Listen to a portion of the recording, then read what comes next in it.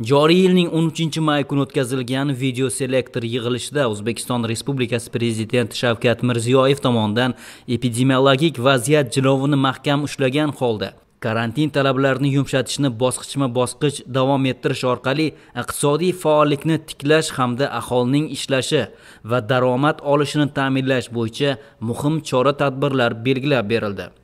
Xususan yashil va sariq hududlarda sanitariya gigiyena talablariga qat'iy amal qilgan holda xizmat ko'rsatish turlariga bosqichma bosqich ruxsat berish mumkinligi qayd etildi.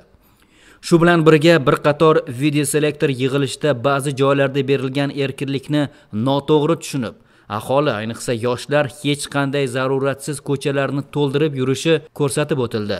Bunday holatlar hamda oxirgi kunlarda infeksiya yuqtirganlar soni yanada oshayotgani hammani hushyor bo'lishga chaqiradi.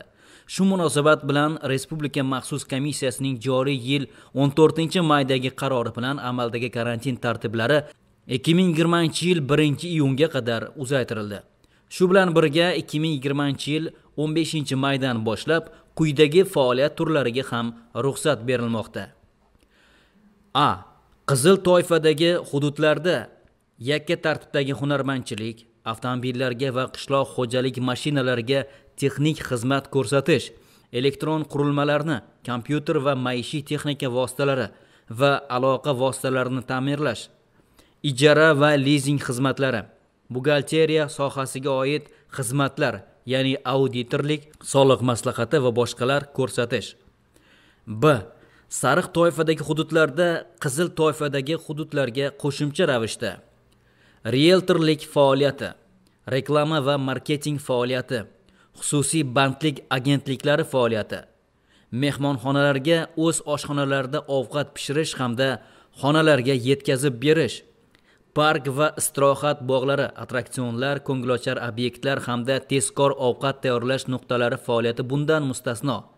Bunda park va istirohat bog'lariga kirish karantin talablariga qat'iy rioya qilgan holda soat 9:00 dan kechki soat 20:00 nolga qadar ikki nafar shaxsdan ko'p bo'lmagan guruhlarda oilaviy guruhlar bundan mustasno amalga oshiriladi. V. Yashil toifadagi hududlarda sariq va qizil toifadagi hududlarga qo'shimcha ravishda. Ochiq sun'iy qoplamali sport o'yingohlari tashrif buyuruvchilar sonini cheklash sharti bilan yechinish va yuvinish xonalaridan foydalanmagan holda hamda oraliq masofani saqlagan holda.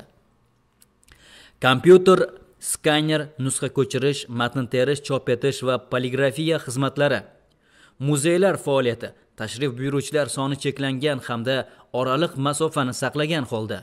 Veterinariya xizmatlari binolarga xizmat ko'rsatish va landshaftni obodonlashtirish faoliyati.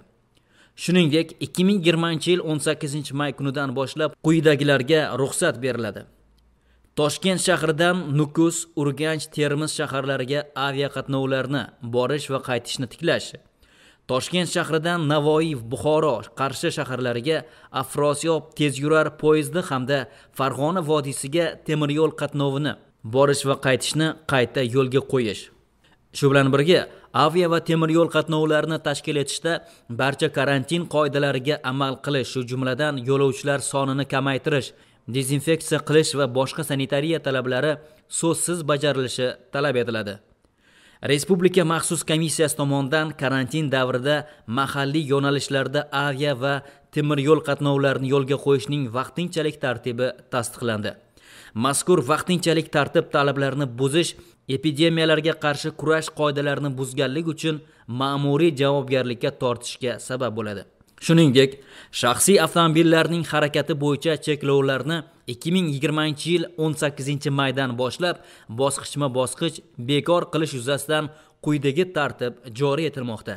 Yashil toifadagi hududlarda respublika maxsus komissiyasi yig'ilishining 2020 yil 6 maydagi 21 son bayoni bilan avtotransport vositalarining maxsus ruxsatnomasiz ya'ni stikersiz harakatlanishiga ruxsat berilgan.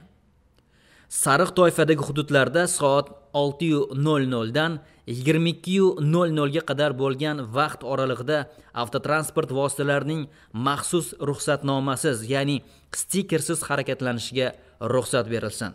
Bunda avtotransport vositalarining salonida 4 kishidan ortiq odam bo'lmasligi lozim.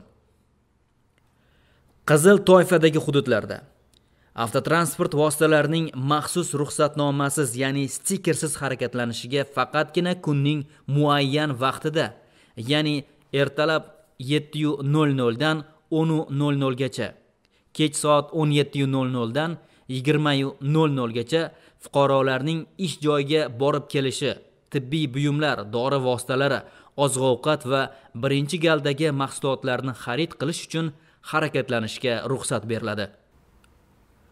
O'zbekiston respublikasiga koronavirusning kirib kelishi va tarqalishining oldini olish yuzasidan chora tadbirlar dasturini tayyorlash bo'yicha respublika maxsus komissiyasi